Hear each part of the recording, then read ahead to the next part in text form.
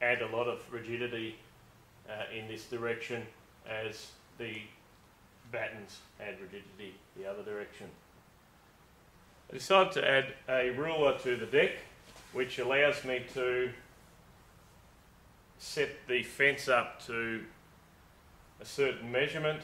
I can write that measurement down and next time I want it set up to the same spot I just have to set it back up to that same number. I also have a ruler on the top of the frame that helps me to set my templates to the right position. You can set the height by actually drawing on the back of the template and you can set the uh, distance across by the number on your ruler. So you just have to correspond with uh, an existing number on the ruler.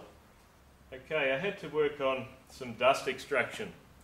Um, there was a bit of a problem and that is uh, the router normally has dust um, the router normally has airflow, sucks in the back and blows out the front. Now, that clears the dust away from your work, but it also blows it right away. So what I've done is use this system through here to collect that air and redivert it out the top of this clear vinyl guard.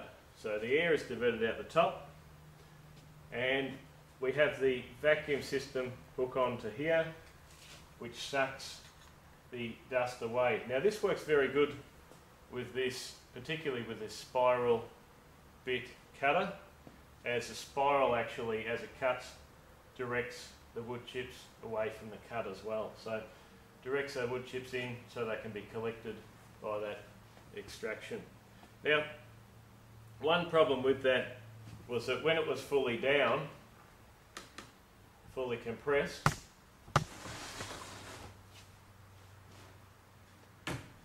when it was fully compressed, the guard was coming in contact with the cam that was there to counterbalance the weight of the router. So I had to reduce the height of the cams and to increase tension on the spring to compensate for that.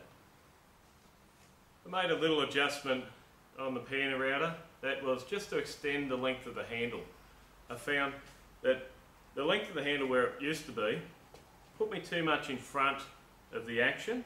Um, anything that could have deflected off the blade could have deflected off and made contact with the operator. And when I use the machine, I use safety glasses, but often students will take a shortcut, won't take any safety glasses or safety protection while you're not looking, and they'll end up with sawdust and chips and stuff in their eyes. Um, so to reduce the risk of that, I just added some length to the handle. Now it changes your body position naturally from standing right in front of it to comfortably, you want to be standing sort of beside the machine. Just that little bit of extra length to the handle changed my body position. So if anything was to flick off now, it would likely go past me and not impact into um, the user of the machine.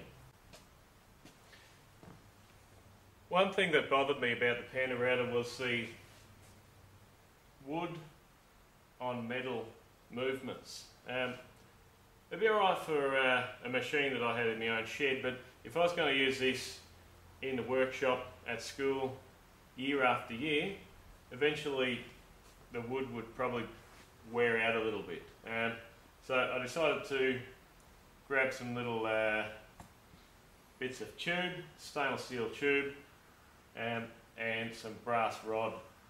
Um, there's zero clearance between them. It's quite a uh, snug fit to get them to fit and a little bit of glue can just be added to allow that to um, move.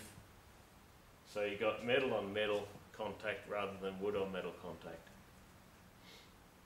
That's also used in uh, the handle for depth, the depth handle as well. The Pantorouter and just thinking that um, it'd be pretty handy to have switches mounted on each handle because you're using two handles at once why not have a switch on each handle? And if one of the switches cuts out, it turns that router off straight away. Um, first of all, I thought, you know, this is going to be safer for the students to use. As soon as they take their hands off the handles, the machine's going to cut out.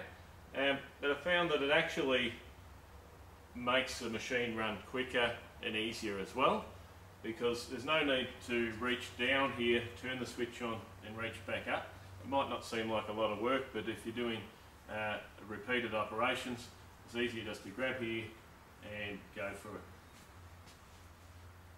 I have a transformer redirecting the power from 240 volts down to 24 volts, runs through the wires here just two switches that simultaneously have to be pushed.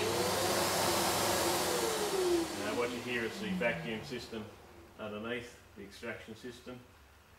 Um, also goes back to a box at the back of the unit where I have a relay that turns the full 240 volts on for the router itself. Um, the reason I dropped the power was just again to uh, increase safety.